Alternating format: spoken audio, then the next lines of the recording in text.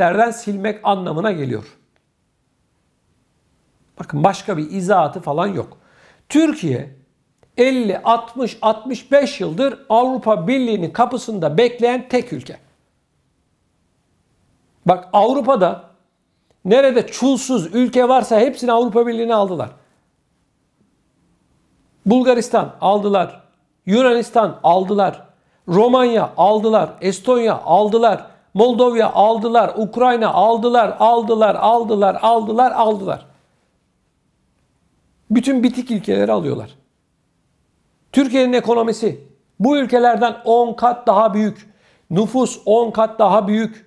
Sanayi 10 kat daha büyük. Ama tek derdimiz şu. Bizim adımız Türk. Türkiye. Bundan dolayı almıyorlar arkadaşlar. Biz de ne hikmetse Avrupa Birliği'nin kapısından ayrılamıyoruz. Yok ayrılamıyoruz. Yeri geliyor Türkiye'ye ambargo uygulamakla tehdit ediyorlar. Almanya başta olmak üzere. Giriş çıkışı kapatırız. Doğu Akdeniz'de petrol, doğalgaz arayamazsın. İşte bize göçmen gönderemezsin. Arkadaşlar bakın ben kendimi bildim bileli Avrupa Birliği'nin bu oyalamaları devam ediyor. Bundan bir sonra da bu olaylar devam edecek. Açık bir şekilde görülüyor. Türkiye'nin yapması gereken şu arkadaşlar. Bakın net bir şekilde. Artık ya herro ya merro. Bize alıyor musunuz? Almıyor musunuz? Avrupa Birliği 47 maddelik bir liste verdi Türkiye'ye. Dedi ki bu maddelerin, bu kanunların hepsini çıkartacaksınız. Biz ondan sonra sizinle vize serbestliğini konuşacağız dedi. Onu da bırakın. Geçtiğimiz 11. ayda Merkel açıkladı. Dedi ki biz 12. ayda Türkiye ile vize serbestliği görüşmelerine başlayacağız dedi. Türkiye eline verilen bu isteklerin hepsini yaptı. 47 kanunun 46'sını çıkardı. Bir tanesi terör örgütü PKK ile ilgili bir madde. Onu çıkarmadı Türkiye haklı olarak. Merkel 11. ayda dedi ki görüşeceğiz dedi görüşmedi. Hadi buyurun gelin masaya. Masada kimse yok.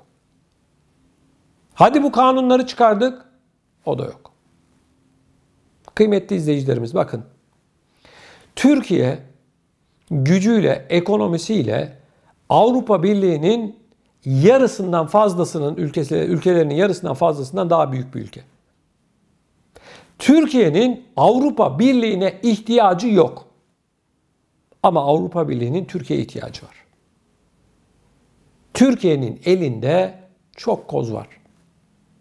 Bunlardan bir tanesi. Sadece 5 milyon Suriyeli var. Bakın bunu tehdit olarak falan kimse anlama, algılamasın. Türkiye Avrupa Birliği'nin yol geçen hanı değil. Onların bekçileri değil. Avrupa Birliği ülkeleri geliyorlar, o ülkeleri karıştırıyorlar. Göçmenler Türkiye akın akın geliyor. Biz onlara ev sahipliği yapıyoruz. Ve sonra da bize diyorlar ki Avrupa Birliği ile Türkiye'nin ilişiğini kesin diyorlar. Kim diyor? Avrupa Parlamentosu diyor. Arkadaşlar açacaksın kapıyı. Ne kadar mülteci, göçmen, ne kadar Avrupa sevdalısı, Almanya sevdalısı varsa bu sevdalarına kavuşacaklar. Türkçesi bu. Açacaksın. Kapıyı açacaksın kardeşim. Gidecekler. 5 milyon adam gitsin yılda. Yunanistan üzerinden ilk hedef Almanya biliyorsunuz. İsviçre, Hollanda, Fransa. Allah ne verdiyse basacak gidecekler kardeşim. Bakın ben net bir şekilde söylüyorum. Avrupa Birliği'ne girebilmenin başka yolu, yöntemi yok kardeşim. 47 tane yasa değil 470 tane de yasa çıkarsan seni almayacaklar. Almayacaklar. Hiç kendinizi lütfen kandırmayın. Bu lafım siyasetçilerimize, Türkiye'yi yönetenlere Avrupa Birliği sevdasından vazgeçelim. Aldılar mı? Aldılar. Almadılar mı? Biz yeni ufuklara yelken açmalıyız. Avrupa Birliği defterini kapatmalıyız. Çünkü Avrupa Birliği ülkeleri defterlerini kapattılar. Açıkmış gibi yapıyorlar. Türkiye defteri kapandı arkadaşlar. Açıkmış gibi yapıyorlar.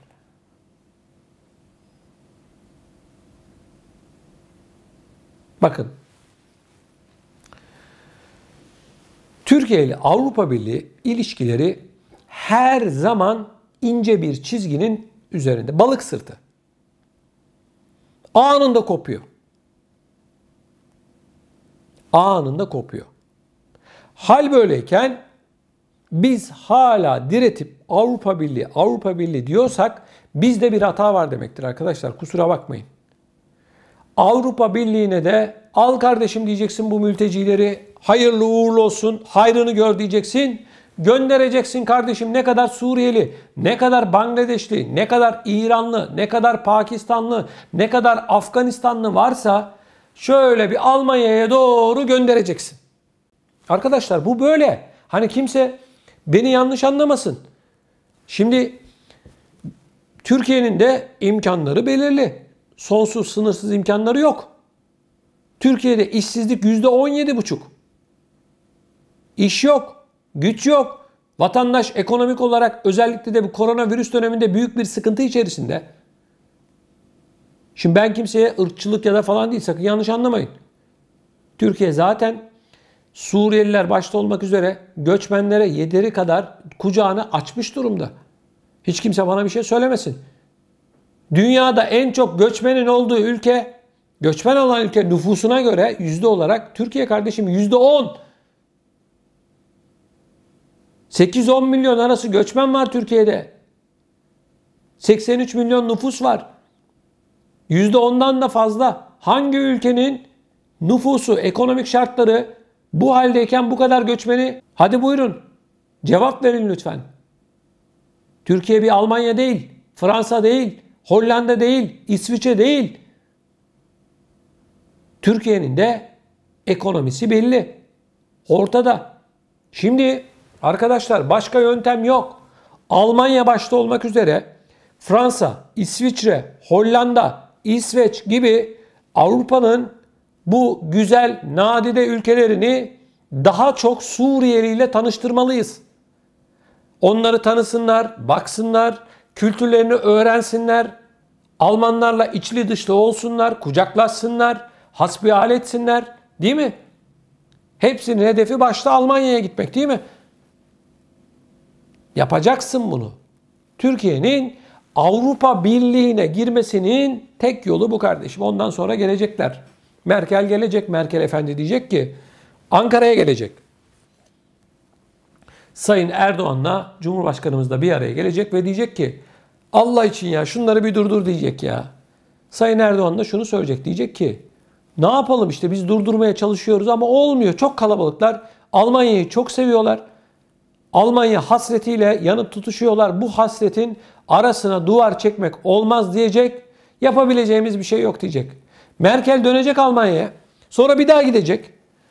Bu sefer Sayın Erdoğan'a diyecek ki bir 10 milyar euro verelim diyecek. Erdoğan da diyecek ki bizim parayla işimiz yok diyecek. Para bize lazım değil. Bu insanların bu Almanya sevdasına anlayış göstermemiz gerekiyor. Ölümlü dünya diyecek. Merkel geri dönecek Almanya'ya. Merkel bir daha gelecek. Diyecek ki ben size vize serbestliği veririm diyecek. Yani Türkiye Cumhuriyeti vatandaşı Avrupa Birliği'nde vizesiz gitsin gelsin. O zaman Sayın Cumhurbaşkanımız diyecek ki e güzel diyecek. Biraz bir sınırları kapatalım diyecek o zaman. Bir bakalım ne oluyor diyecek ama %50 kapatacak. %100 değil. %50 kapanacak. Günde 10 bin tane göçmen, mülteci gidiyorsa 5 bine düşürecek. Sonra Merkel 15 gün sonra bir daha gelecek. Diyecek ki Sayın Erdoğan'a biz sizinle müttefikiz. İlişkilerimiz 100 yıl öncesine dayanıyor. Sizi çok seviyoruz. Çok güzel kapattınız. Biraz daha kapatın diyecek. O zaman da Sayın Erdoğan diyecek ki gelin kardeşim bu işi çözelim. Türkiye biliyorsunuz 65 yıldır burada bekliyor. Biz Avrupa Birliği'nin üyesi olalım. Bu göçmen işini çözelim. Ne sen üzül Sayın Merkel ne de biz üzülelim diyecek. Merkel de seve seve iki s kuralıyla bunu kabul edecek. Başka yol, başka yöntem yok. Olsa dükkan sizin diyecek Sayın Cumhurbaşkanımız. Onun için arkadaşlar Avrupa'nın anladığı bu başka bir şeyden anlamıyor. Anlıyormuş gibi yapıyor anlamıyor. Anladınız siz. Bu işin başka bir çözümü maalesef yok. Avrupa Birliği parlamentosu demiş ki Avrupa Birliği'nin Türkiye ile tam üyelik müzakerelerini askıya alın. Baba bak almazsan inan gönlümüz kalır. Üzülürüz. Gece yatamayız. Avrupa Birliği eğer Türkiye ile olan ilişkilerini keserse bu geceden itibaren benim uykularım kaçar diye düşünüyorum. Bilmiyorum sizde neler olur. Adamlara bak ya. Yani ne kadar rahatlar ya. Türkiye bu ya. Avrupa Birliği'nin güvenliği Türkiye'den başlıyor arkadaş. Bak bilmeyen siyasetçilere söylüyorum. Avrupalı siyasetçilere. Avrupa Birliği'nin güvenliği Türkiye'den başlar. Türkiye kapıları açarsa Avrupa Birliği falan kalmaz. Komaya girersiniz. Ben de şunu söylüyorum. Türkiye Cumhuriyeti yetkililerine, devlet büyüklerimize şunu söylüyorum. Hiç kanunla manunla uğraşmayın. Açın kapıları. Selamun aleyküm desin Suriyeli kardeşlerimiz Yunanlara, Bulgarlara. Bir sarılsınlar onlara. Günde 10 bin kişiyi bir gönderin Allah'ın izniyle. Biz geldik desinler. Şöyle bir Yunanistan topraklarına güzel güzel ayaklarını bassınlar. Çoluk, çocuk, Türkiye'de ne kadar Suriyeli, Iraklı, İranlı, Afgan, Pakistanlı ne kadar Filipinli ne kadar gariban ülke varsa bunların hepsini Avrupa ile tanıştıralım. Ölümlü dünya, üç günlük dünya. Bırak gitsinler. Başka yöntem yok arkadaş. Bakın mecazen konuşuyoruz tabii bunları.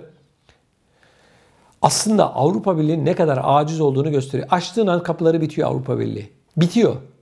Düşünsenize günde 10 bin kişi gidiyor. 10 bin.